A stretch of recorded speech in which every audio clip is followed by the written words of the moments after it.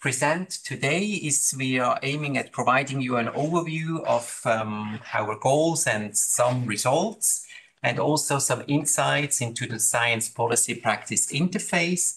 And then we will have uh, two thematic focuses, one by Annina on social values and one by Antoine on biodiversity modeling. The goal of ValPar is to describe, survey, and evaluate the ecological, social, and economic benefits and added value of the ecological infrastructure. So this goal was um, written by the Federal Office of the Environment, and they also um, had different sub-goals that you see um, in the box. Uh, we will get back to some of them in the course of, of our presentation. And by the way, the picture that you see um, was taken during an excursion in one of our study regions, Beverin. We are helping here team members uh, in their geomantics, geosemantic analysis, and Annina will explain a bit later um, what the geosemantic analysis is. ValPar is part of the action plan of the Swiss biodiversity strategy. You see that at the top uh, right. So they have different pilot projects and ValPar is part of one of the pilot projects. So this means that the project is fully financed by the Federal Office of the Environment, BAFU, and we also have a close collaboration with them. So we have monthly uh, meetings on the project coordination level, and we have two or three meetings per year with the whole uh, accompanying group from BAFU, and there is um, other stakeholders involved as well. In ValPar, we work on two tiers. So we have tier one, which is the national level, and tier two is more the local and regional level. And there we closely collaborate with four parks that you see here uh, Gruyère Pays d'en Haut, Aargau, and Naturpark Beverin. And we will see later on when Annina is presenting how this um, collaboration is um, working with workshops, etc. So I've mentioned the term ecological infrastructure a lot. I guess that some of you are familiar with, with it already, others not. I let you read through this definition provided by BAFU.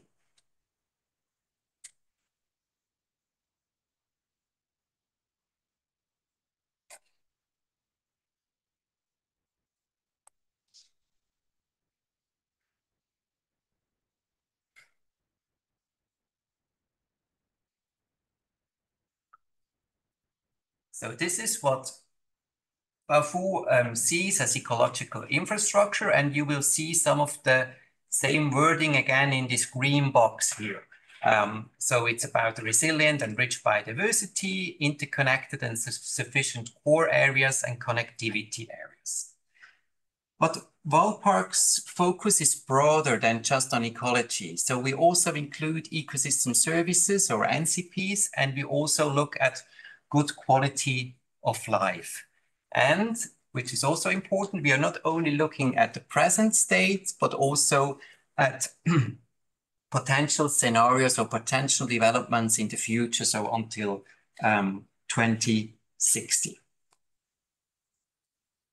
We have uh, different approaches and methods which are shown on this slide and just to, to give you a bit of an overview. So we have the, the, different topics. We have the social, economic, and ecological views, but we also look into planning and management. And we have uh, a variety of different methods um, that we use. Annina will focus later on the social views and Antoine on some of the ecological views. When I say we, um, so this is uh, our group pictures um, from us. It's about 40 researchers from five Swiss universities working together. We are organized in thematic modules. We have regular exchanges within the teams, the modules. We also have cross-module discussion of specific topics. We have every year a two-day retreat, and these pictures were taken at the uh, at three of the retreats. Um, we have workshops in our study regions, excursions, monthly online coffee meetings with PhDs and postdocs and so on. So we have quite a, a close collaboration between this interdisciplinary team. What is very important in, in ValPar is values, values of nature, values of uh, biodiversity. And we try to include different perspectives. And I just want to give you a short example. So if we look at the tree, we can value it um, because of its own value. So then we talk about intrinsic value.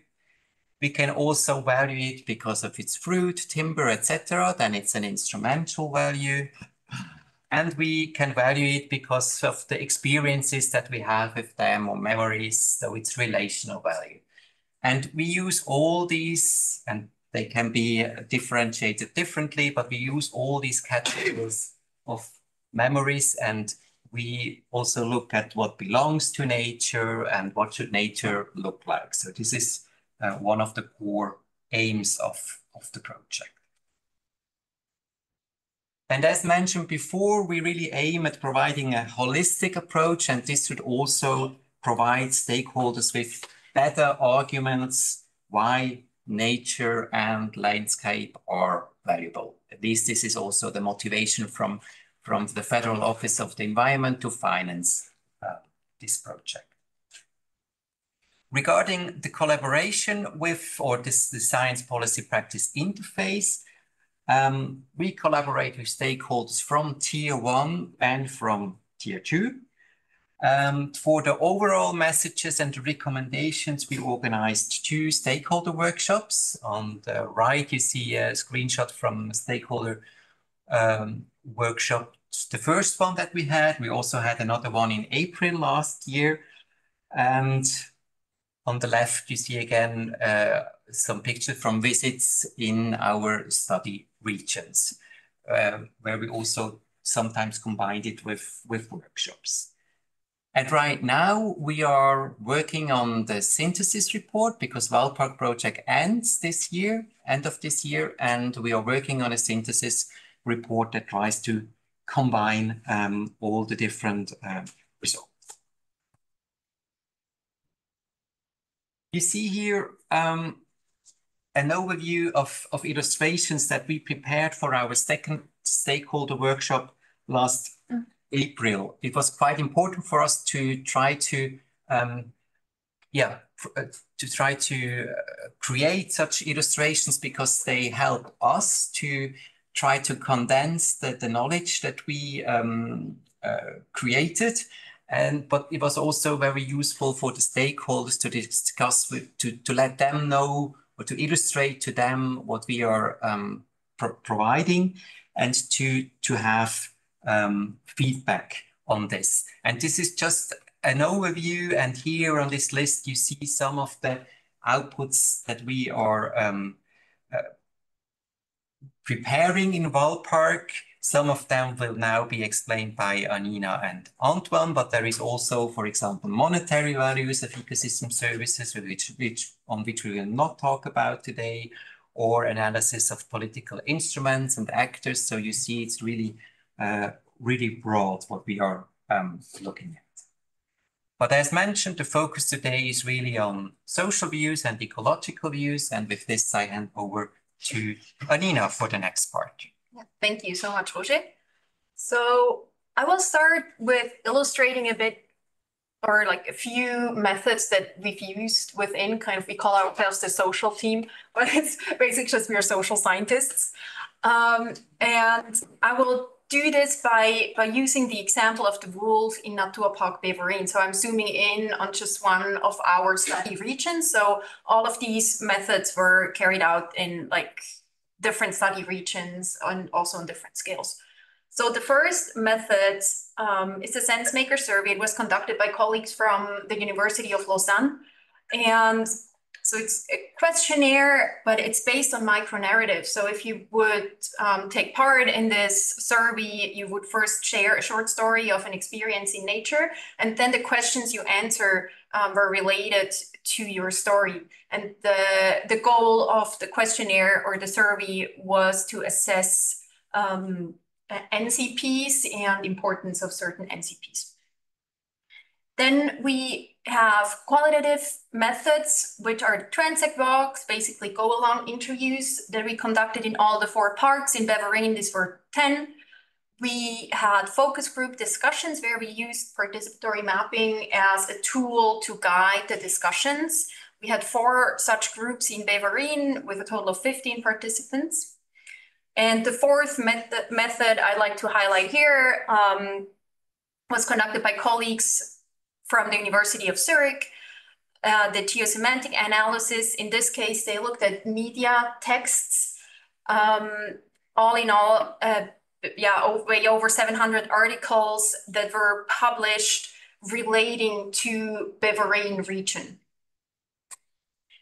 So what we saw here was like we started talking in this interdisciplinary team about our results. And so after the media analysis, the geosemantic analysis team was like, well, obviously the wolf is like the number one topic re related to nature uh, or conservation in this area because um, they had almost 200 articles out of the 700 were about the wolf in Beverin. They looked at as the time stretch from 2000 to 2022. They conducted a, a sentiment analysis um, and saw that the sentiment in the articles was mostly negative, slight, uh, slightly negative, but mostly kind of neutral. Um, but it was a lot about the wolf. And then we exchanged and we are like, well, in our data, this kind of looks different. So moving over to the, the SenseMaker survey and also the go-alongs, um, in the survey, very few, or actually just a couple of stories that people shared out of the 250 in the Beverin area contained the word wolf or were about a wolf.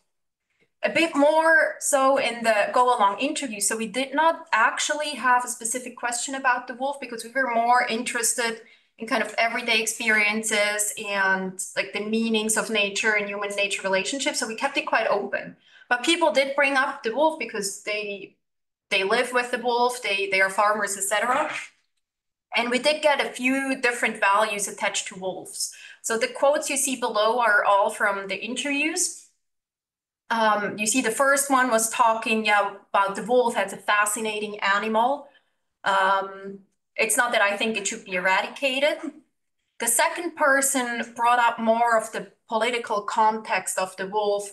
So the interviews were conducted in 21, and I think it was 2020 when the hunting law was rejected. So this person um, related to that and said like, well, the hunting law was rejected mainly by the people from the lowlands and went on to explain, you know, I'm, I'm a farmer up here. I work with my sheep on the alpine pasture. Maybe people should come up here to kind of experience what it actually means to live with the wolf. But then what we also saw um, was that some people really didn't really feel like they had to talk about the wolf anymore. We call this the wolf fatigue. And this is um, shown by the third quote here. The person said like, at some point you don't feel like talking about it anymore you know, it's kind of deadlock we're done. So that's what we call the wolf fatigue. And this fatigue was even more um, uh, strongly in the, or shown more strongly in the in the focus groups. And we call it actually the wolf silence because we had four focus groups and in none of them the wolf was brought up. We asked people about where do you think nature is intact? You know, what's your favorite place out there in nature? The wolf didn't come up. And then one of our moderators asked the group at the end, like, why didn't you talk about the wolf? You know, it seems to be such a big topic. And this was the answer. You don't speak about that. That does not end well. You talk about money, but not the wolf. I give you a piece of advice. Don't talk about the wolf here, especially if it's recorded. Why not? Because the topic is so emotional, it's crazy, especially with the farmers, because I will protect the wolf, but this is something I can hardly address anymore. So this is what we call the wolf silence, like actively not wanting to talk about the wolf, especially in a kind of a semi-public setting. And so we really saw as a team um, using these, these mixed methods approach that there's a, a quite a big value in using these different methods to understand, especially kind of challenging conservation topics, um, and really putting a media discourse into local context and understanding local um, discourses or, or silences as well. And that silence might also have a reason or a meaning to it. And so this is kind of one of our outcomes that we didn't even actively look for, but kind of helped us to put our different methods also in relation to each other. So for the second part of my part, um, I would just like to focus on the uh, qualitative methods. So those are the go-along interviews. All in all, we conducted 42 in all of the four parts. And the focus group discussions, um, which are in total 12, 12 group and 52 participants. So what we were kind of focusing on in these methods was, of course, approaching societal values of the ecological infrastructure. Um, and we did that kind of through two main guiding questions. So the first was what is the meaning of nature to different people, also relating to what Roger explained earlier. So we are really interested in knowing not just what people like stakeholders think about or understand on the nature, but also us researchers. It was also part of, of the whole project. And then the second kind of entry point or guiding question is how do everyday practices uh, influence the meanings attached to rural landscapes? And here you see a switch from uh, ecological infrastructure to landscapes um, because we obviously work quite empirically and landscapes is, is, the term that we also use in, in our everyday language. So ecological infrastructure was a bit too abstract to use with our stakeholders, also with ourselves, I guess. Um, and then we are also interested in how these meanings are entangled with, with emotions. And I'd like to just add some explanations to this. Um, so we, we focus on everyday practices um, because obviously uh, places and people live in these parks, in these areas, and places become what they are through everyday practices way more than just like a one-time, once in a lifetime experience that you might have.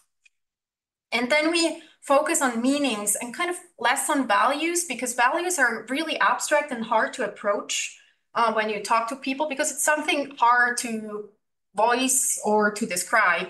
But we value things because we perceive meaning in them. Something is meaningful means we usually value it. And then the emotions come in um, because meanings become known through the emotions they induce. So if something's meaningful to, to you, you kind of feel an emotion and that's something you can share, for example, in, an, in a go-along interview with between interviewee and interviewer. So here again are our four research areas.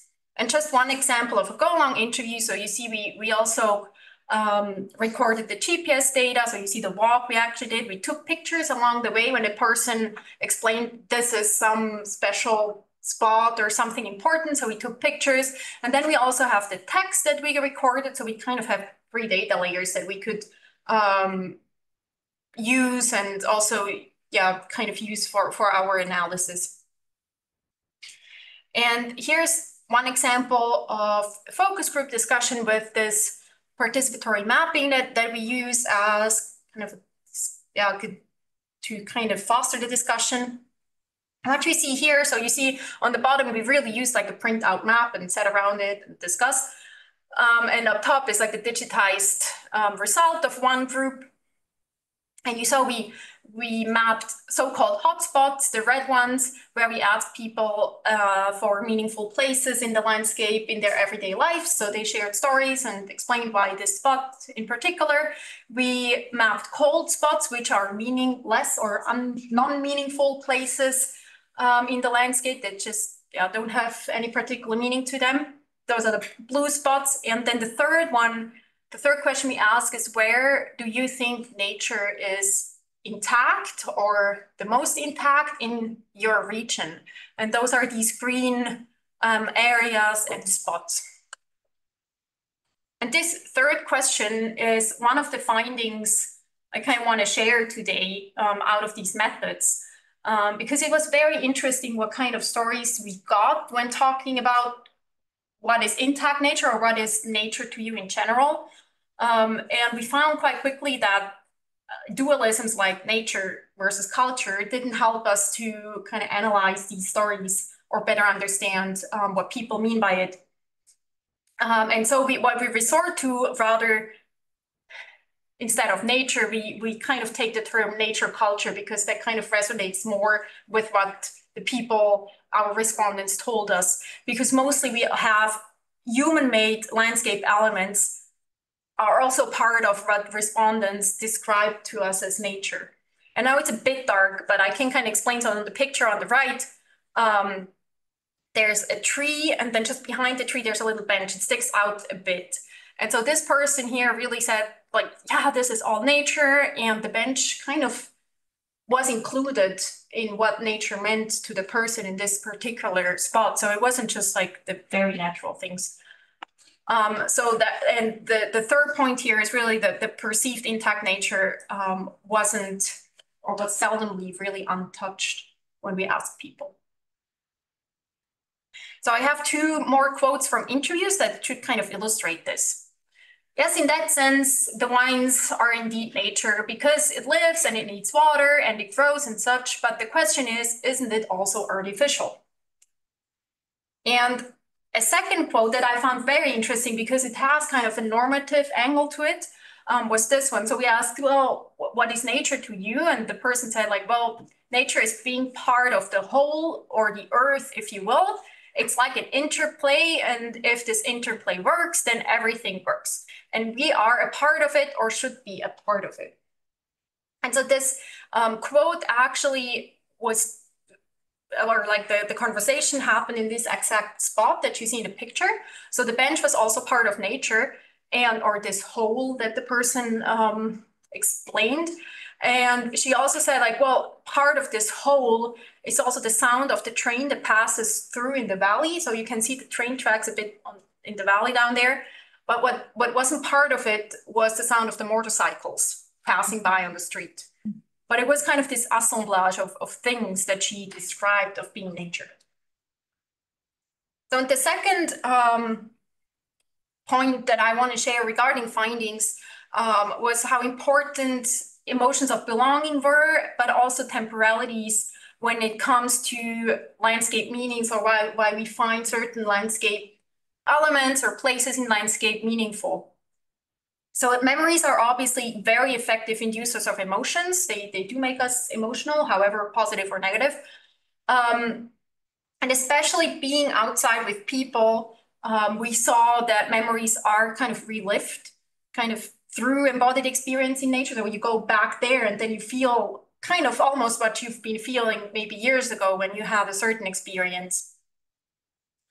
And what we also, what, what we are now kind of thinking about is the importance of rhythm. So we were obviously walking a lot. So walking is a rhythm in itself, but we are also kind of thinking about different kind of over layering rhythms. So it might be a rhythm of a daily, um, your daily visit to the pasture and you do something, you know, you work with the animals. It might be a weekly walk with a friend, a colleague during work. So you kind of have a rhythm, a weekly rhythm of doing something again. It can also be a seasonal rhythm uh, that gives something meaning. So a person told us like, well, I know, I know the seasons with my body. I can smell the seasons. I, I can hear the seasons and kind of this seasonal rhythm kind of gives a place a meaning or a different meaning to a place because maybe a place is more meaningful in summer when you go up there on the pasture with your animals. And I have two more quotes from interviews about memories that I found quite interesting because they're both um, childhood memories, but slightly different. So the first um, quote was during an interview where we approached one very special tree and the person said, sometimes the tears came and then I always went to this birch tree. I could recharge my batteries or I could leave the thing that had annoyed me up there and then I went, went back home. So it was a very particular tree that's still there and that very tree has a very individual meaning to that person.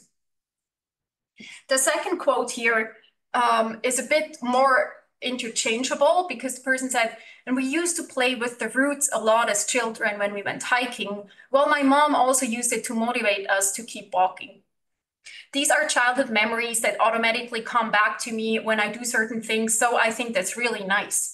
So I was walking with this person on a path and there were these roots over the path, but I, these weren't the exact roots that she remembered playing um, as a kid with, but it was roots that kind of triggered emotions, memories, and that made this specific path more meaningful to her because she always kind of remembered the game and shared it with me, um, which was nice. So just a short intermediary conclusion regarding this, um, the social views on ecological infrastructure. So the first part was really just showing how we value mixed methods approaches, and especially for understanding challenging topics or challenging conservation topics, such as the, the wolf. And then obviously the meanings which are created through our everyday practices and also our very embodied practices of walking, working, sitting, interacting with your animals, etc. And the emotions were extremely central and we could really also kind of feel them with, with the people while um, conducting interviews and sometimes also in the focus groups. Um, and now we are really more thinking around these temporalities, such as memories and rhythms and how they influence um, the meanings, and especially um, kind of how we can incorporate these temporalities into the analysis of societal values of ecological infrastructure, because we often focus on the present and the future, and but now we see how forceful the, the past is as well. So and now I'll um, happily hand over to Antoine for the ecological views. Thank you, Alina. So uh, I'm Antoine, and I was working on the uh, biodiversity modeling part of the project uh, as a postdoc. Uh, and uh, basically, when I accepted the job, like the, main mission uh, in the was the job position was to achieve the, the modeling of uh, all possible species uh, for which we had data in Switzerland uh, at a 25 meter resolution, which is a very high resolution, and for both current and also future periods, considering uh, climate change and uh, land use uh, land cover change scenarios. So that was that was the, the mission when starting the postdoc. so just to to to to put this this goal in a in a broader context uh, on which uh, biodiversity uh, modeling operates and other kind of environmental modeling is the one of the importance of developing models and scenarios for management and anticipation, uh, so uh, these highlights uh, are made in international organization reports such as the IPBES or the IUCN for biodiversity or, clim or climate mm, for climate change by the IPCC.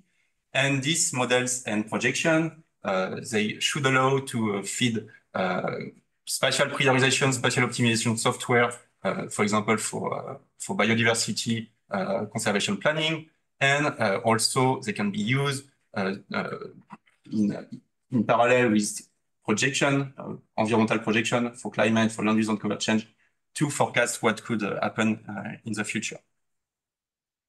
And one, when we are talking about biodiversity modeling, one increasingly used tool for achieving this objective or species distribution models. Uh, the concept of species, species distribution model is quite straightforward. Basically, uh, you are quantifying the relationship between species occurrence data uh, with the uh, environmental factors at play for explaining the distribution of the species. And you are doing that through the use of statistical models. Can, several algorithms can be combined together. You can one specific algorithm. And these uh, modeling algorithms, they will allow uh, to quantify the response of the species to this set of environmental factors uh, that are influencing its potential distribution. And thanks to this model, you can then uh, extrapolate uh, the relationship between the species and the environment in a continuous space as to obtain uh, spatial maps of uh, the potential distribution of the species. And this uh, little figure on the right show you how much this species distribution model had been used over the last two decades and the variety of uh, application for which they have been used, ranging for glo global change studies, spatial priori prioritization, of course, uh, but also to monitor biological invasion and uh, many more. One key focus uh, of uh, the SDM science that I have uh, been interested in during my postdoc is around this key issue that many uh, national scale studies, such as it was the case in Valpar. The, the, the aim was really to model the, the spatial distribution of the species at a national extent, is that this national scale SDM study, they are often using national biodiversity monitoring program uh, that stop at the political border of, uh, of the countries. So these are generally very nice and very comprehensive data sets, but they don't integrate for all species uh, the, the, full set of environmental conditions in which these species occur. For example, typically for, for Switzerland, France, or Sweden, maybe less for North America, uh, one species that is found in the country can occur also uh, more north or more south and can experience drier, uh, wetter, or more warm or colder condition. Uh, that the model will ignore if you consider only uh, the political extent of the country and only the use of this da data set. And the problem is that when you, you, you fit a species distribution model with this, what we will call this truncated, spatially truncated data, is that it could lead to truncated response curve that, uh, that trace the relationship of the species to a set of environmental factors. For example, here are four variables, uh, four climate variables, uh, and these are the species response according to the model when you use a truncated data set in red and versus a full data set in black, and you can see that the, the response curve we obtain can be very different. And of course, this will have implication when projecting the model uh, in space, but uh, more importantly, in time, if you don't learn correctly the true response of the species to this uh, set of environmental conditions. And this is, this is a problem that was known before I, I uh, start my postdoc, of course, and there, there has been like several studies around this uh, around this uh, problem. And one key solution that arises is the one uh, that consists in combining global and regional data in their, respect, in their respective model and then assemble them together. Uh, here, one, one key solution that generally arises is the one consisting in fitting two models, one global scale model and one regional scale model. The, the role of the global model will be to capture the full uh, climatic niche uh, by integrating species occurrence data and climate data, for example, that, that can be found across the full range uh, of conditions that the species encounter globally. But one key issue uh, of this of this uh, of this problem is, of this model is that generally, to fit them, uh, we don't have uh, all the possible environmental variables that need to be integrated to explain the distribution of the species. Basically, the data that are available at this global scale are only climate data, but we, all, we will lack more local land use, land cover, vegetation factors. And also at this uh, global scale, uh, the data that are generally available, they are available at a very coarse uh, spatial resolution, uh, which can be a problem when you want to uh, do some very local application. So that's why it's important to incorporate also a regional scale model that will allow considering uh, more local habitat factors, such as the one related to soil or land use condition, and also generally at this local scale, as I said, uh, you can access more highly resolved data, which will be useful in the end to obtain uh, high resolution uh, maps. Uh, but before I start uh, my postdoc, there was no uh, end-to-end -end SDM platform for achieving this. And that's why key objective of this postdoc was also to develop a tool, a software that we call NSDM for Nested Species Modeling that will be able to do this integration in a straightforward way, and that could also integrate all the state-of-the-art steps of uh, species distribution modeling. So from data preparation to core modeling to spatial prediction uh, that we incorporate in this NSDM software. And we we made an effort to build uh, all this software around this spatially nested hierarchical framework uh, that allow the combination of this global model and this regional model. So far, we have uh, we included two uh, strategies, two possible strategies to do uh, the, the, the, integration of these two models together. I will not go into the, to the detail of the strategy in this presentation, but if you're, if you're curious, you, you can ask me more detail after that. Uh, and also importantly, uh, we, uh, we designed this NSDM pipeline around a high performance computing design. So it can be easily plugged Uh, to any uh, university or cluster or to any organization cluster, uh, which is needed for achieving the parallel modeling of thousands of species that it was the objective for this project in a reasonable amount of time. And also importantly, what we integrated in this NSDM pipeline is an automated covariate selection tool that allow to start with a big bunch of, uh, of candidate covariate. Here we are talking about 4,000, 5,000 of potential candidate covariate uh, to individually uh, select for each species uh, the best subset of variable because when you are targeting that many species at the same time, it's impossible to, to, to work with an expert-based selection for all the species. So you need to input some uh, automatism. And that, that's why we, uh, we developed this automatic covariate selection tool and integrated in the software. And talking about uh, the predictor variables, so the candidate uh, covariates we use for modeling uh, the distribution of the species.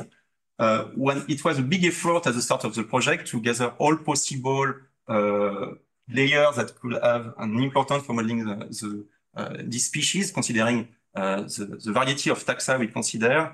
Uh, so we we we dredge a bit in all the uh, university GIS databases, also like Swiss Topo archives, Swiss Federal Office of Statistics. So to, to get together together uh, more than 5,000 of uh, layer uh, raster layer of covering like many environmental categories that we standardize. So they all share uh, the same uh, coordinate reference system, the same high resolution of 25 meter. And so they all share the same grid. And we put all these layers together in the SWECO 25 database that we recently published in Scientific Data. And we hope that this, uh, this uh, database will also be useful for many other ecological research projects uh, in Switzerland. And so using uh, this SWECO 25 predictor database in association uh, with uh, species occurrence data that we retrieve from uh, InfoSpecies databases, we proceed to the core modeling of all possible species for which we had enough data to, to do the modeling to obtain spatial, spatial prediction for both current period and also future period, so far considering two climate change scenarios, which are the RCP 4.5 and the RCP 8.5, so moderate and high emission uh, scenarios. And so far, we achieved the modeling of uh, 7,000, or about 7,000, uh, what we call common species, so species for which we had more than uh, 50 occurrences. And we are currently uh, uh, increasing the number of, uh, of, of, of, models and species by including 5,000 additional rare species, so species between for which we, we, we have between 10 and 50 occurrences. also for future and for current and future scenarios, we are also integrating now uh, land use and land cover change scenarios. And all this uh, work is conducted at a 25 meter resolution. And I wanted here to, uh, to, to emphasize that it's work that we are continuously improving. So for example, so far we have done two main runs for this 7,000 species. So each time we are trying to, to, to, to, to take some perspective on what we achieve and to to correct, to do some adjustment, to, to proceed to some, uh, to some refinements. So, so this is really like a, a work con continuously ongoing. There, there is no really a final version of, of these maps. And those, the range of applications uh, to, that we, uh, we are anticipating that for which one this map could be useful. Uh, they range for biodiversity monitoring, uh, climate and land use change studies, uh, and many more. And we, in the in the context of uh, of ValPar, uh, there, there, there was a, a, strong wish to to to to share this map for uh, ecological infrastructure planning, uh, in particular by the canton, and also to uh, to other more local uh, application. So this is an example of what the canton of Vaud already did with this map. So aggregating at what they call the tram level basically uh, grouping species according to their ecological preferences and looking uh, or reassessing the ecological connectivity of the territory. Here is a more zoom example uh, at the scale of the city of Lausanne, uh, where they also look at, uh, at, the, at the connectivity of, of the habitat within the city. And in this last example, it's also uh, an ongoing application in, uh, in the canton of Zurich, uh, where they, they group the species according here also to their ecological preferences. These are two examples for wet, uh, species and dry species, and uh, they are looking at uh, which area should or could be favored for ecological infrastructure planning. So that was all for me on, on this biodiversity modeling part. and more like as a, as a next step for the ValPar project, uh, we wanted to remind you that uh, all the results uh, from the diverse work package uh, will still may be made available until the end of 2024, that all publication and datasets uh, will also be continuously uploaded uh, on uh, our website, so www.valpar.ch. And if you are looking for more basic or raw data, uh, they, they also can be accessed from uh, data archives such as uh, Yareta uh, and Zenodo, from which you can also access a large panel of metadata. So thank you for your attention and uh, we are happy to take uh, any questions.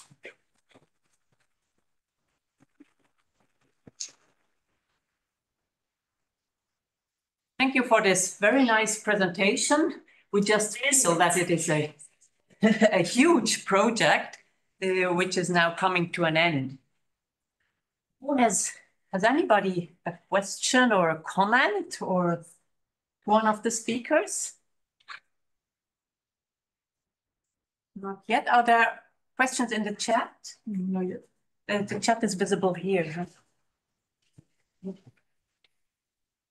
There is a question oh, there. Okay, there is a question.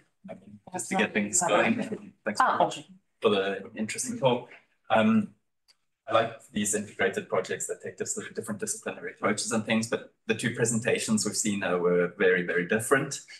And maybe the ones really focusing on species biodiversity as biodiversity, which is kind of one view of nature, with from from the presentation about values, it was talking a lot more about landscapes. And I wonder how in this project you'll bring these different perspectives together into planning and whether this is something that's been yes, a big I challenge or not, or how you plan to do that. Yeah. You are working on it in the synthesis report, I think. So how do you bring this together?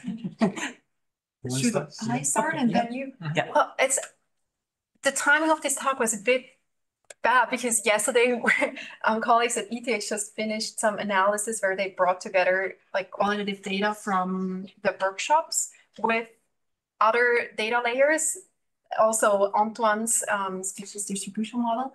Um, and so it's basically just kind of comparing, you know, our what we call the hotspots, like meaningful places, for example, what we now saw in a first screening, um, bringing together different data layers was very super interesting. And in seeing that in most parks, we do have like preferred spots by the participants that are located in areas with higher, for example, red list, higher amount of red list, red list species, um, or also different NCPs that were modeled by another colleague in, in Geneva. So we are working on that now. Unfortunately, it wasn't ready yet to present because I think that would be that would have been one example how we now try to really integrate very different kinds of data sets, and it's super interesting for me as well. And I mean, the, the other part is Roger.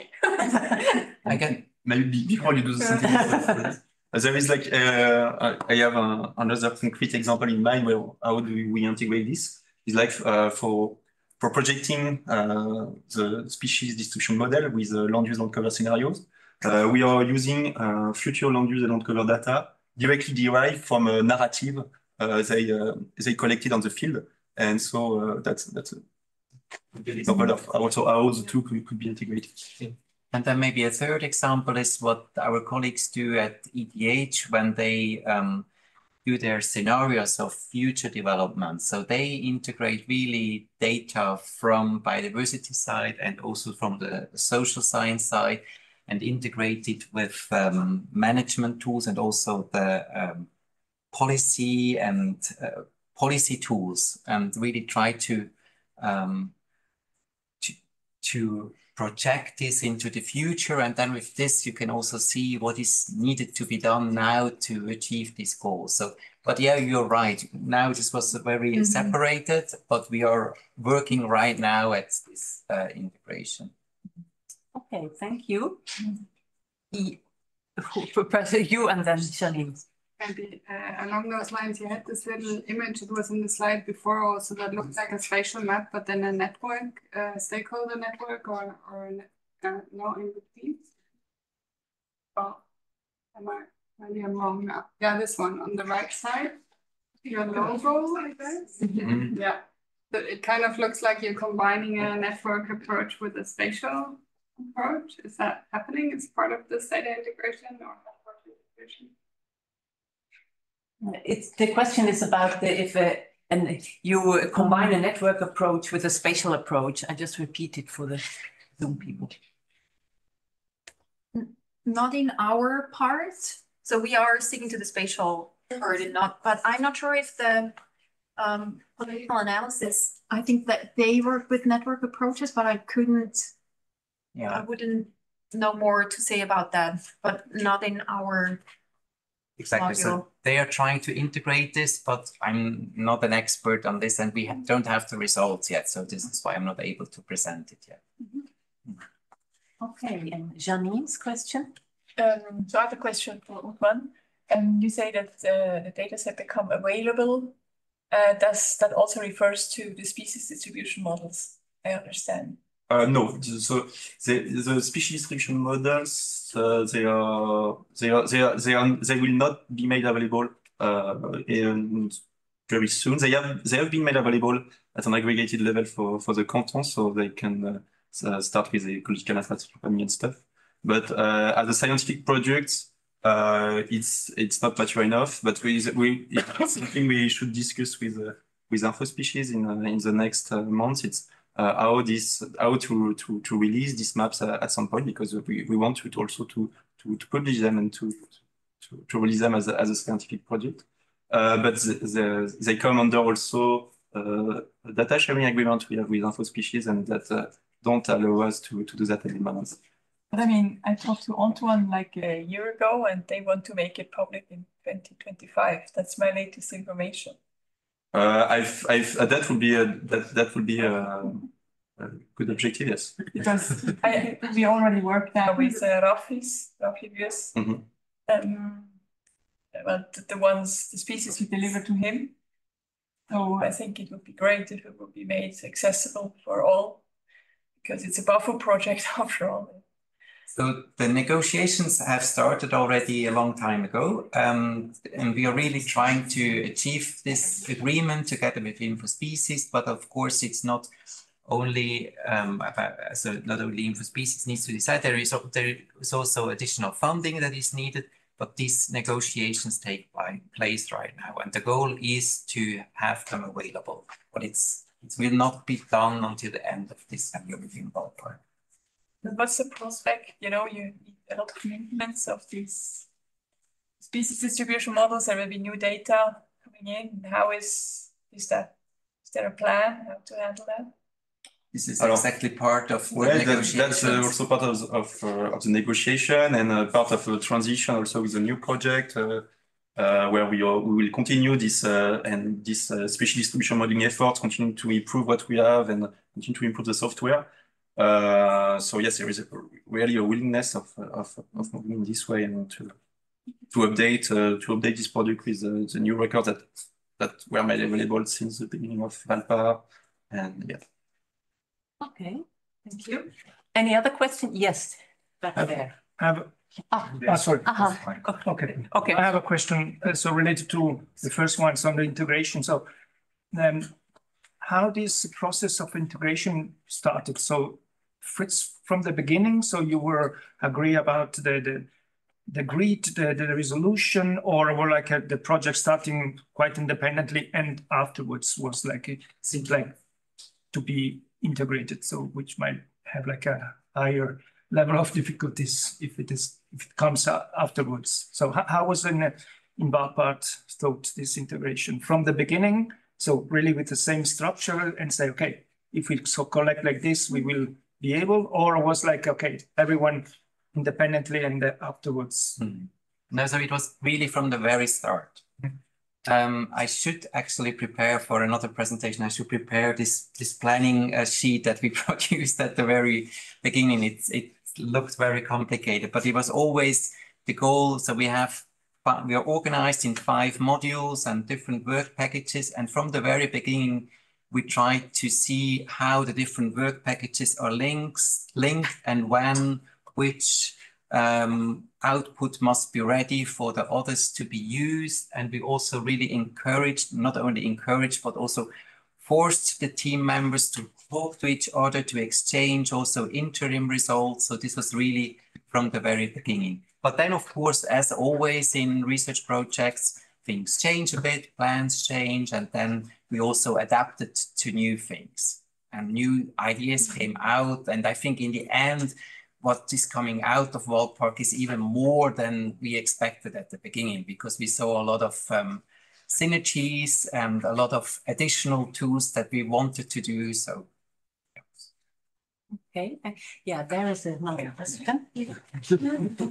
um, one question about the questionnaires. Uh, I don't know about the age of the people that were interviewed, but have you considered or maybe have you perceived any sign of shifting baseline syndrome about human perceptions or I don't know, something on this line? Mm -hmm. I don't I don't know about the, the quantitative survey that was conducted by the colleagues in, in Lausanne, if they had any significant um like results regarding age influences. And for our, I mean, we we work qualitatively, so I can't um, give you significance, um, but we do not really have, so we talk to people from 21 to 89. Um, it was quite stretched um, regarding age um, and also regarding backgrounds. But it was quite interesting to see that we couldn't really find a pattern, neither regarding age nor regarding even political backgrounds a bit. But then again, the very personal relationships were more similar than we thought talking to people from issuing different political views. That's what I can share with you. But I don't have the the exact data from the from the quantitative questionnaire, honestly, and I can't remember if they had. But I'm sure they've checked for that. But if you're interested, I'm happy to share their results via email. Yeah, sure. Any other question or remark? Yeah, there is in the species distribution models, the future scenario models, were increasing anthropogenic pressures in there? And if yes, were renewable energy developments in there? I didn't get the, the last part. if renewable energy development ah. were in there.